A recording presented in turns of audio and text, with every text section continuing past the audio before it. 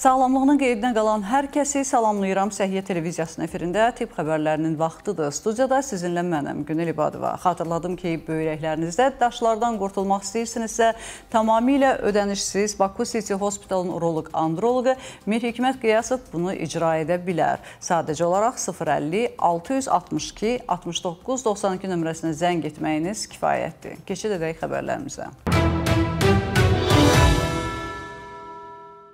Əgər düşünürsünüzsə ki, eynək sadəcə daha yaxşı görmək üçün vasitədir, yanılırsınız. Baku City Hospitalın cərrah oftalmoloqu Leyda Kazımova bizə eynəyin nə qədər böyük funksiyaları olduğu haqqında danışıb. Baxaq görək, cərrah eynəyin həm də idman olmağını necə izah eləyir.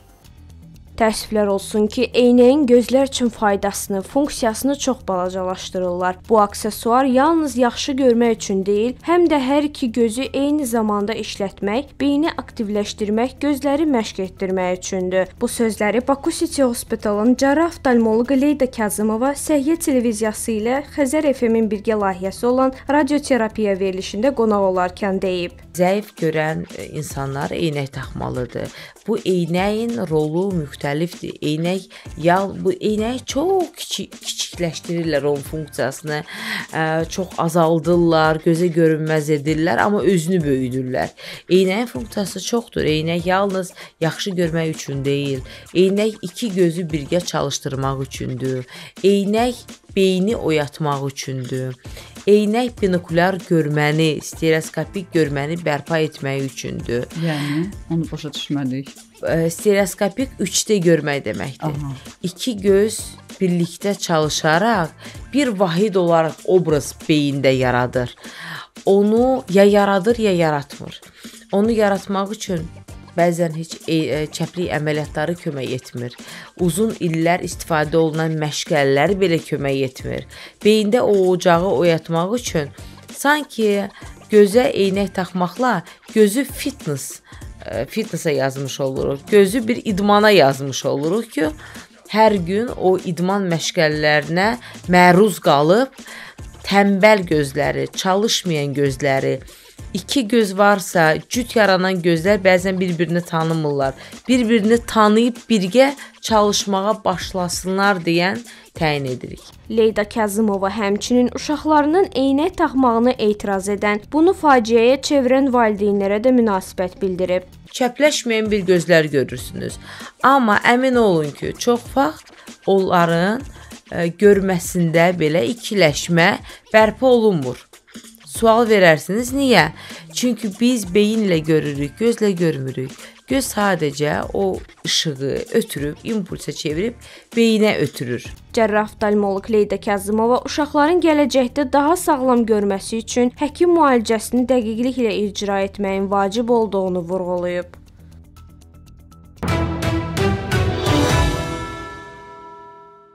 2 aylıq körpə sancağı hardan ala bilər, necə tapa bilər və necə uda bilər? Bu xəbəri oxuyandan məni ancaq bu suallar narahat eləyir. Xəbərə baxaq. Həkimlər 2 aylıq körpənin bağırsağından sancaq çıxarıb. Az yaşlının onu necə udduğu məlum deyil. Medicalmedia.az xəbər verir ki, məlumatı Moskva vilayətinin Səhiyyə Nazirliyi yayıb. Uşaq xəstəxanaya nazik bağırsağın son hissəsində yad cisimlə daxil olub. Xoşbəxtlikdən sancaq bağlı olub və heç bir təhlükə yaratmayıb. Əməliyyat zamanı həkimlər stigmoid bağırsağa sancağı keçirib, sonra onu çıxarıblar. Bu üsul sayəsində körpə sağalaraq evə buraxılıb.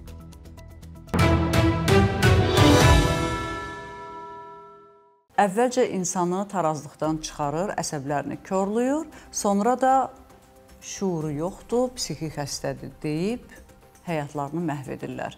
Bu toksik münasibətlərdə olan ailələr haqqında psixiatr Həlimə Qəmərlinskayanın dedikləridir. Baxaq görək. Doktor həmçinin ailələrdə hansı münasibətləri toksik adlandırır və hansı partnyorlardan heç nəyi düşünmədən çıxıb getmək lazımdır. Əvvəlcə qadını özündən çıxarır, daha sonra hamıya onun ağlını itirdiyini deyir. Bu kimi manipulyasiya idarə etmək üçün edilən hiyləgərlikdə ailəsini məcburi qorumağa çalışan kişilər var. Bu fikirləri Səhiyyə TV ilə Araz FM-in birgə layihəsi olan Sizin doktor verilişində qonaq olan psixiatr Həlimə Qəmərlinskaya qadın və kişilər arasında toksik, yəni zəhərli münasibətlər haqqında danışarkən qeyd edib. Bu daha çox narsistik e, şəxsiyyət tiplərinə aiddir. Onlar xoşlayırlar. Buna bilirsiniz, e, onun adı da var. Gaslighting deyirlər. Gaslighting nədir? Yəni sən niyə çoxaldırsan bu problemi? Sənə elə gəldi. Öydürsən. Sən belə gördün sən özün aqressivsən, bəlkə dərman içəsən, bəlkə psixiatra aparmısan. A, əslində mən sizə deyim, bəli, mənim təcrübəmdə mən sizə deyim ki, heç yəni 5-6 dəfə də yox, bəlkə 10 dəfədən çox həyat yoldaşları öz yoldaşlarını gətirib ki, bunu müalicə elə. Bunun başı gedib, bu başı xarabdır. Bax belə sözlərlə.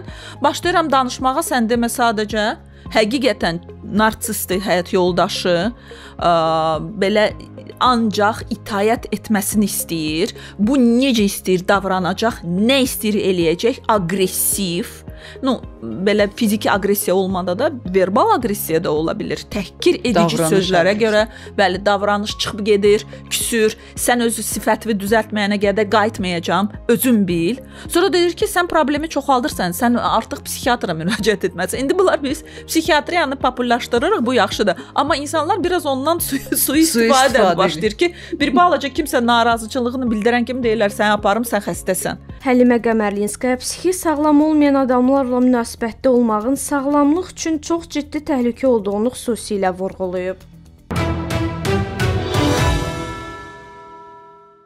Yayda hamımız sadəcə istirahət üçün yox, həm də sağlamlıq üçün dənizə gedirik. Amma kifayət qədər zərərli tərəfləri də var imiş. Baxaq görək dəniz qulaqlarımız üçün necə ziyandır və nə də ziyandır.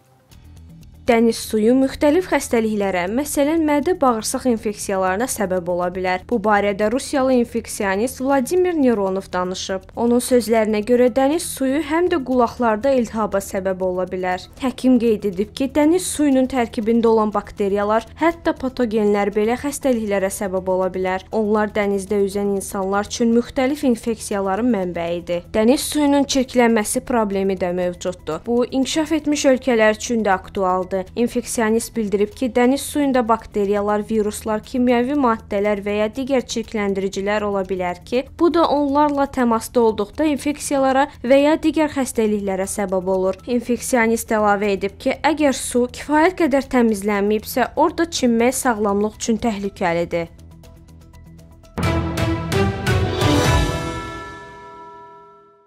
Deyir, qulaq gündə bir xəbər eşitməsə kar olar. Bu gün də duzun əslində narkotik olduğunu öyrəndik.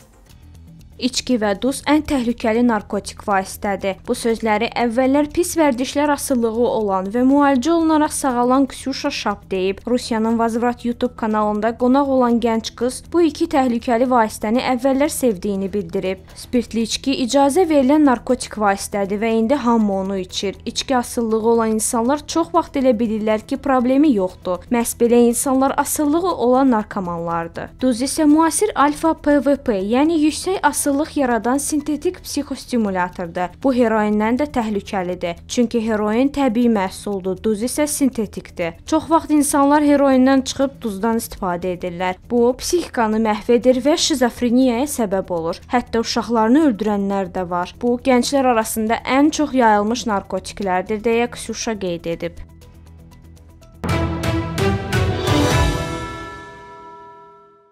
Kişilər öz xəyanətlərinə daim poliqam olmaqları ilə haqq qazandırmağa çalışırdılar. Lakin bu gün məşhur Rusiyalı professorun öz sosial şəbəkələrində yaydığı video gündəm olub.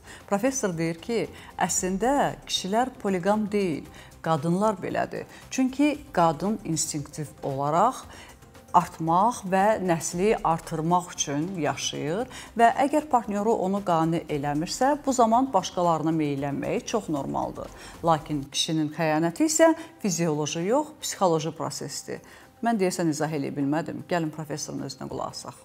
Qadın xəyanətinin səbəbi fizioloji, kişininki isə psixolojidir. Bu iddia ilə məşhur Rusiyalı professor Aleksey Sitnikov çıxış edib.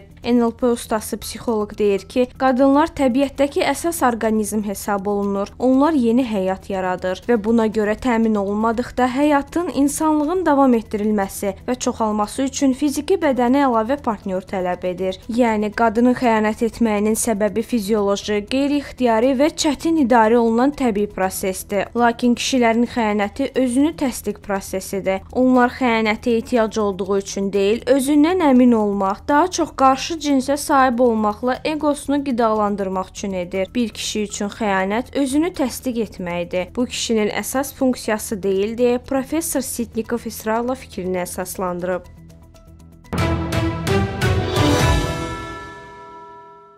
Bugün olan səhiyyə xəbərlərimiz bu qədər. Dünyada və ölkədə baş verən ən vacib tibb xəbərlərini bizdən izləyin. Sağlam olun.az saytında isə daha çox səhiyyə xəbərinə şahid ola bilərsiniz. Xatırladım ki, baş sponsorumuz Baku City Hospitaldır. Özünüzü və doğmalarınızı qoruyun. Sağ olun, salamat qalın.